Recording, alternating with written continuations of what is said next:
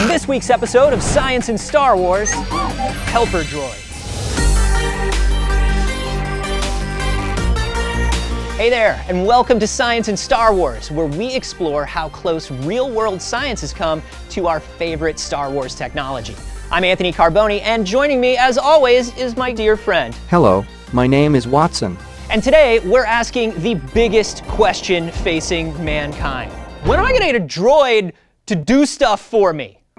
Droids like R2D2 and BB 8 aren't just sweet characters they're also incredible technological advancements that, if real, would help humanity in every aspect of life. Seriously, droids have mechanical interfaces, welders, rockets, hologram projectors.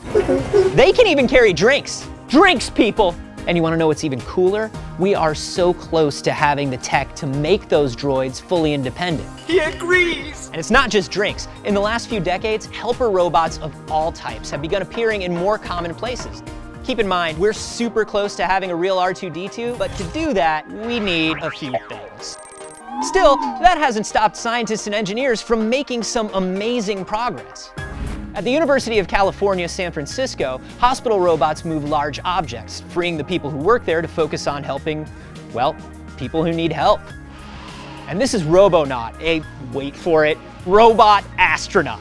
If it looks human, that's kind of the point. We need to have something that is able to use the same sorts of tools and interfaces to do the same sort of maintenance tasks as crew members would do because there's going to be a long time that spacecraft or habitat will be uncrewed. There will be no humans on board. This is Ollie, a driverless vehicle from a startup named Local Motors that uses Watson to communicate with riders and plot out destinations based on their needs. You establish a relationship and a trust in the vehicle because Watson brings that personality into it. Hi everyone, my name is Ollie. And it's so like the relationship we all had with R2D2. We connected to it, and I think Watson's helping to make that emotional connection to them.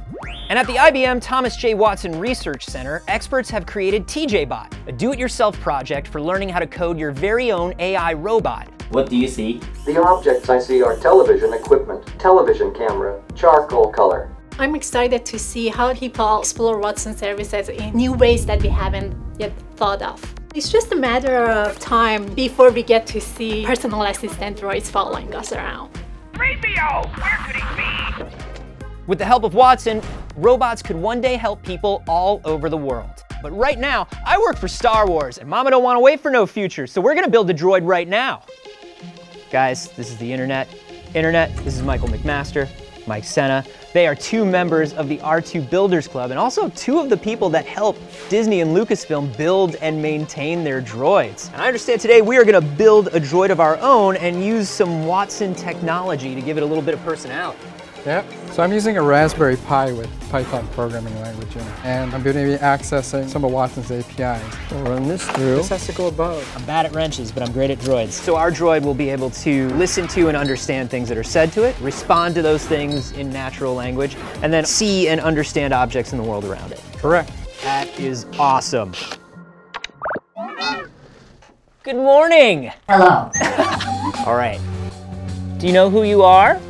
Based on my image recognition capabilities, I believe I am in the body of R3A3 from the Star Wars Rebels Iron Squadron. R3, open your door. R3, wave.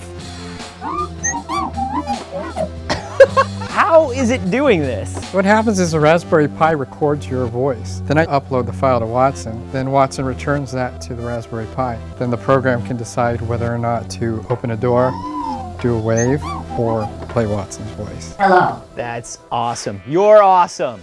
Come on, I'm gonna give you a tour of the set. Tell me something interesting about this guy. R2-D2 served Padme Amidala, Anakin Skywalker, and Luke Skywalker. Yes! You know your stuff. Okay, let's say I'm being chased by one of these. What's the best way to take it down? After watching Rogue One, I can say Baze Malbus was effective in taking out an AT-ACT with a shoulder-mounted rocket launcher. Impressive, R3. Most impressive. Can you do anything else you want to show off? You can take a photo of us and email it to me. Yeah, let's do it. I have never had my picture taken by a droid before.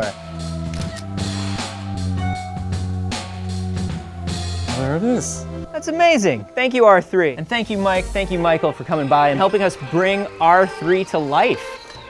Remember, we've got more about AI coming in an upcoming episode, so be sure to hit up ibm.com slash Star Wars for that and everything else we do.